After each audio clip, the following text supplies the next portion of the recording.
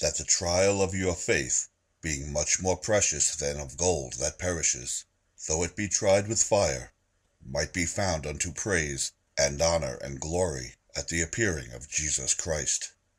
The path of the just, says Solomon, is as the shining light, that shines more and more unto the perfect day.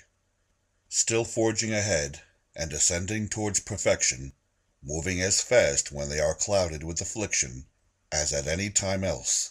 Yes, all that seems to work against them furthers them. Those graces that would possibly grow heavy and unwieldy by too much ease are held in breath, and increase their activity and strength by conflict. Divine grace, even in the heart of weak and sinful man, is an invincible thing.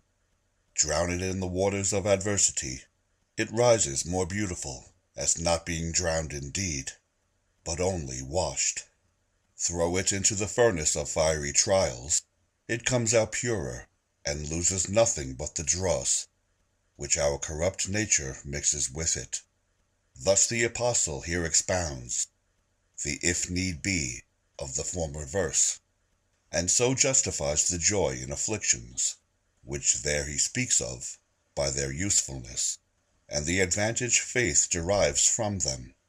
It is so tried that it shall appear in its full brightness at the revelation of Jesus Christ.